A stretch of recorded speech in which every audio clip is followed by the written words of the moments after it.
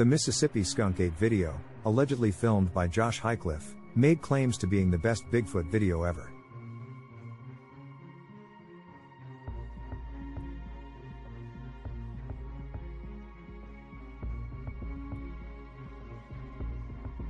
The supposed filmmaker was a Josh Highcliffe.